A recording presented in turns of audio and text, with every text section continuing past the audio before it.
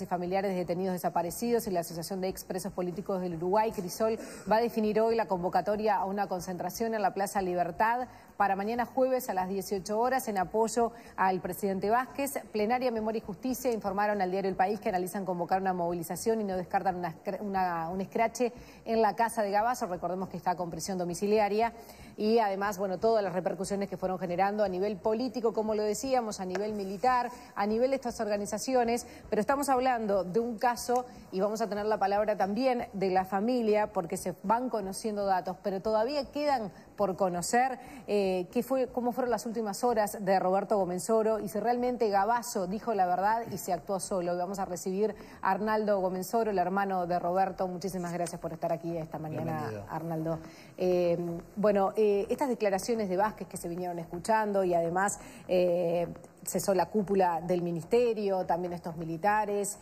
¿Cómo lo vivieron en tu familia? Bueno, esta fue una situación bastante difícil en el sentido que remueve toda una serie de, de, afectos que uno y de historias que uno ha ido procesando durante mucho tiempo. Ha sido contradictorio porque simultáneamente seguimos recibiendo de todo el mundo.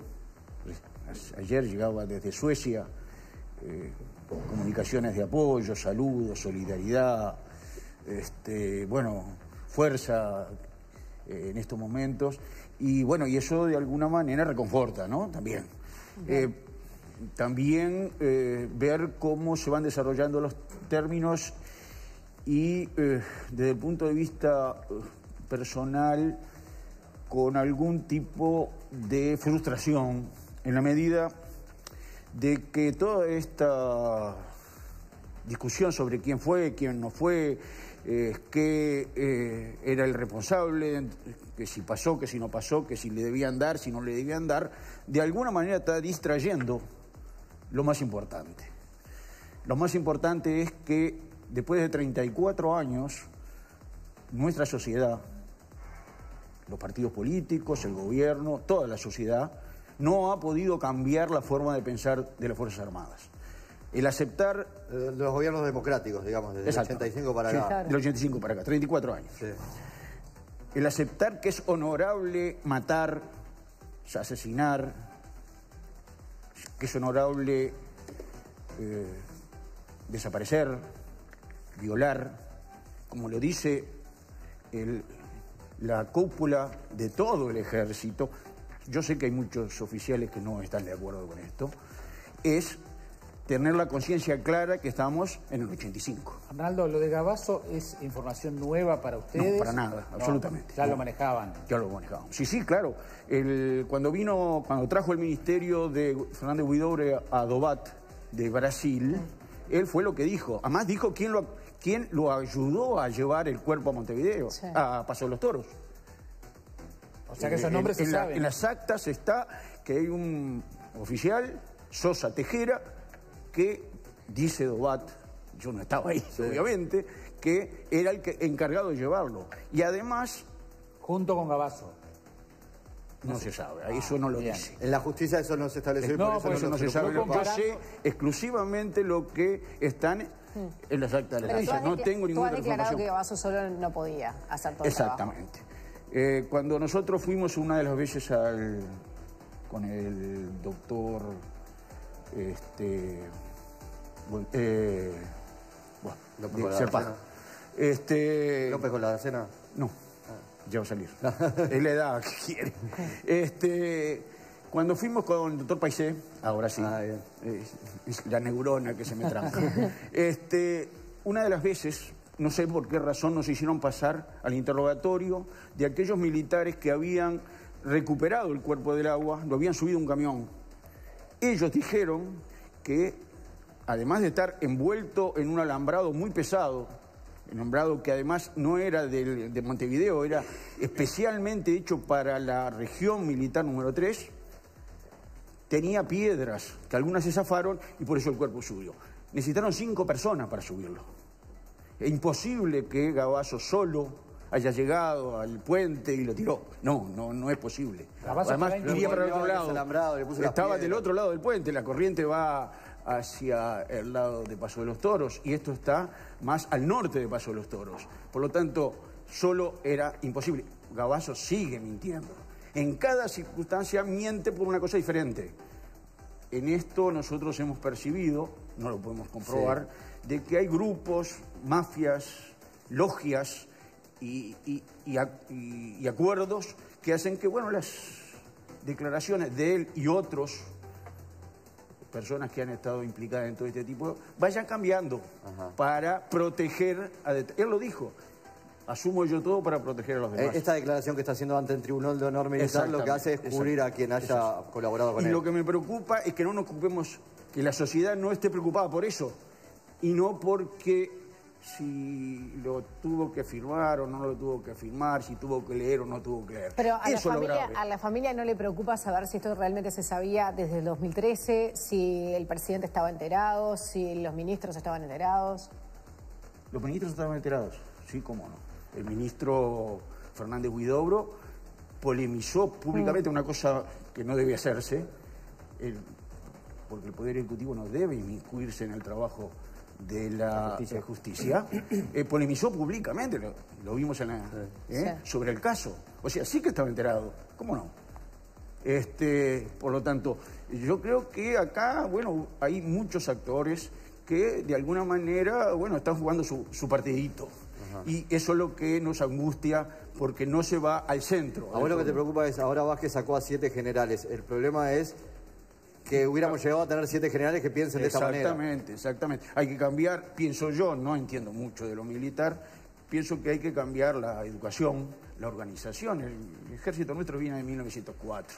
Ahora, se, dice que, porque también Fernández Huidobro ha sido muy criticado, ¿no? Sí, claro. Eh, y se dice que una de las intenciones de Fernández Huidobro fue justamente mantener otro equilibrio en los altos mandos, ¿no? O sea, hubiera algunos este, generales de, filiación ballista. Exacto, eh, alguien de los tenientes de Artigas. Por eso yo decía, y lo que pasó a partir de, que Huidobro murió y, Guido Marino y Ríos ah. quedó fue que los generales vinculados a la logia de los tenientes de Artigas fueron los que empezaron a ocupar cada vez un lugar más importante en el mando, ¿no? Y por eso también tenemos eh, este tipo de fallos en, estos tribunales. Yo me preguntaba que si el problema no venía de una falta de definición real de para qué están las Fuerzas Armadas.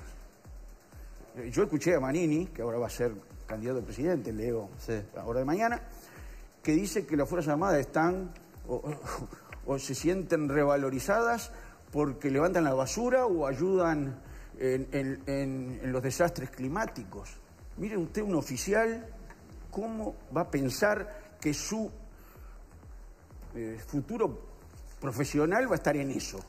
Y si tiene suerte y las cosas andan bien, puede conseguir eh, alguna, mm, digamos, alguna salida con las misiones de paz, etc. Yo soy profesor de educación física. Estudié para profesor de educación física y enseñé educación física durante 50 años y estoy muy orgulloso de eso. Porque hice para lo que me preparé. Los oficiales se preparan para ser militares y hacen otras tareas.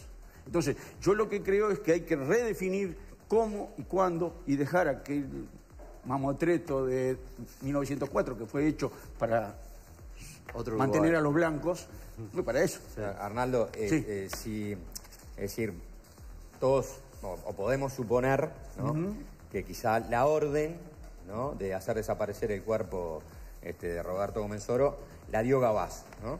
Más bien dice que la dio Cristi. Bueno, Ahí tenemos ¿no? la cadena de mando. está muerto, no puede... No puede muerte. Queda Gabazo, ¿no? Como, como quien hizo cumplir la orden de hacer desaparecer el cuerpo.